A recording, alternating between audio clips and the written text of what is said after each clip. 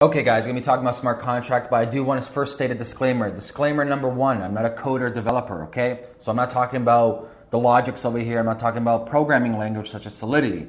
And disclaimer two this is a non technical video, so I'm trying to distill and synthesize all this technicality into simple language that everybody can understand. So without further ado, now the disclaimer is out there, I shall begin. So, the million dollar question what is a smart contract? Well, a smart contract first of all, should not be called a smart contract. I think, at least right now in this current stage, it should just be called a contract. See, a smart contract is nothing more than certain computer code built within to the blockchain cryptocurrency network that computers or the nodes execute and that once the computers and the nodes execute this contract they update the ledger so if you guys are familiar i love working on analogies or contrasts where you can actually build your knowledge based on some pre-existing notion such as a schema so, for example, when we talk about smart contracts, let's first relate to something that you might be well aware of already. So, in marketing terms, we use something called automation, where certain tasks are executed once something is reached or once something is triggered. So, for example, in email marketing, when somebody goes through your funnel, certain laws exist where if a person enters their email, they receive an, they receive email one. If they open up email one, they receive email two. If they open up email two, they receive email three. So what this refers to is IFTT, if this, then that logic. So that's what smart contract is in a nutshell. It's if this, then that logic. So if if we created this code online on the blockchain and the law states that if a person puts in money into this contract, then that will execute a next action. That next action will then send maybe the, uh, a, a digital contract to somebody's email. And that person will get this contract, maybe sign off, and then that trigger will go back to the smart contract code on the blockchain, then execute something else. So, it, in, in, a nutshell, it's a domino series where you need a pre existing event to trigger the next event. The best example when it comes to real life is a vending machine. I put in a dollar, that is the first trigger. That triggers the option for me to type in a code. I type in, you know, B6. That, that, that trigger of me typing in B6 executes you know a bag of chips falling from the vending machine. So that's what a smart contract is in a nutshell. It's if this then that logic programmed onto the blockchain and run by all the computers and nodes on that system, which automatically then updates the transparent ledger that everybody can see.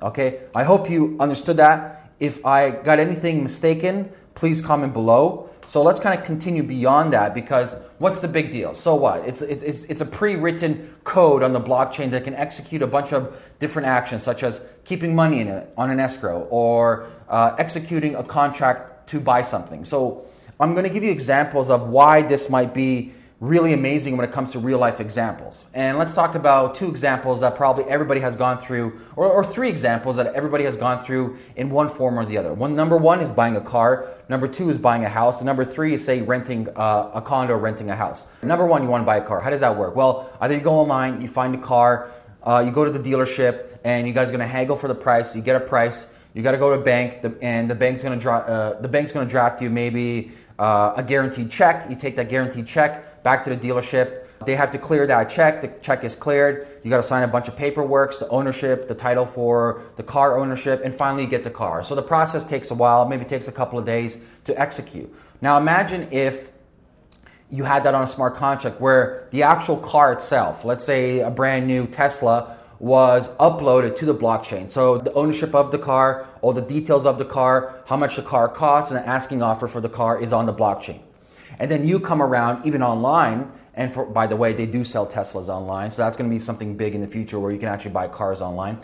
Um, so you go online, you see this Tesla, and you're like, "Wow, this is amazing! All the details are there. It's uh, it's on the blockchain, so you know the information is correct." And they're offering, let's say, forty thousand dollars for the car. So the traditional way, as I just mentioned, is going to the bank, going through this process, signing paperwork, going back and forth, and taking a while. However, what you can do is since it's on the blockchain, they have a smart contract in place where you can actually execute or order in real time. So they're offering $40,000. What you're going to do is you can buy it then and there. You can pay by crypto, and it's going to be flawless. You won't have to like you, you don't need to even have crypto. You're going to have a, come to a point where you're going to have your fiat bank account attached to a token. That token represents a crypto. So it's going to be done in real time. And then you can buy that car right away. The ownership, the information, everything about it is executed on that smart contract. You now hold the information or you now hold the ownership of that car as your digital identity on the blockchain ledger. Now, every single node, every single computer, part of that blockchain ecosystem automatically updates the ledger so everybody now knows on that network that that car was just sold to you so everything is updated. So that's one really cool thing. So imagine like the whole car industry, how that's going to be uh, revolutionized. So number two, say buying a house or buying a condo. The old way is, you know, you go there, you put a bid, you got to put a deposit down, then you get the ownership paper, then you got to go check if the ownership is legit. You got to go a lawyer and pay the lawyer uh, to sign off to make sure there's no liens against the house, to make sure that this is the actual authentic ownership paper of the house. Then you got to go back, then you got to go bank, then try to go get a mortgage. So the whole process is very long, very convoluted. Now imagine instead of that, same thing like the car, where the house originally was uploaded to the blockchain with the ownership confirmed, making sure there's no liens against the house, full transparency.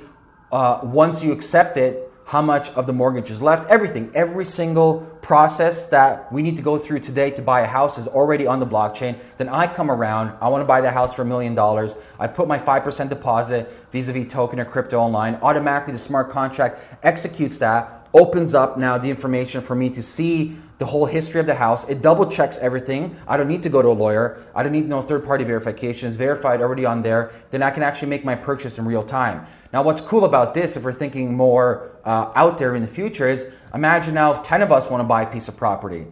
So now we can actually do like multi equity buys within a house on a smart contract that executes everything towards us. And this, this is, has exponential effect. That's one of the other amazing cool things about smart contract is multi-purpose buying, a multi-signature buying, where even if I want to sell something, uh, I can sell one third of something, but for us to sell the whole piece of the pie or this property, all three of us who are legal owners have to sign off of it automatically on the smart contract. And so finally, number three, the rent. So whether you are a tenant or a landlord, there's always problems on both ends. Doesn't matter what party you're talking to. Now imagine if you're a landlord, you know, you have a lot of, uh, and I've gone through this process myself you have a lot of issues with collecting money from some people. It's, it's just fact of reality, and vice versa. Sometimes, as a tenant, your landlord is is garbage, treats you like shit. He's, he's the landlord slum, and the place is horrible. So there's issues on both ends. But imagine you are a landlord, and as opposed to trying to collect, say, a check every month, or even cash every month, or maybe have it on the Visa, etc. Imagine having your your, your contract, your actual monthly uh, rental contract on a smart contract where it automatically takes a token or crypto off of that uh, tenant of yours into your own digital wallet. And what's cool about this is, uh, as a tenant that pays on time with the smart contract, especially on the blockchain, you can actually create something called digital identity with social credibility. So the more that that individual is trustworthy, paying on time, uh, being a good tenant, their social credit rises. And if their social credit is good, that is a lot of leverage. That individual can get better credit or, or get better loans. That individual might even get a reduced cost when it comes to rent because you know he has never faulted or she has never faulted on any rent for the last two, three years. So there's a lot of possibilities when it comes to these comes to the smart contracts that way. So, to kind of summarize in a nutshell, a smart contract is just an agreement between a couple of multi parties online that can be automatically executed on a transparent blockchain using whether tokens or cryptocurrencies, and you can actually involve multi parties all at one time. So, just imagine any type of contract you've done in your life physically offline, and just picture that now uploaded and implemented on the blockchain. So that's it. That's pretty much a smart contract in a nutshell. And like I said before, I was just trying to condense uh, the technicalities or the, the big high level thinkings into a small concept over here. I know I probably butchered some ideas over here, uh, but remember, I'm trying to make this simple. If you did notice anything that didn't make sense to you, leave a comment below this video. And like always, guys, if you want me to make more videos, leave a comment on suggestions for the next videos and have a great day. Peace.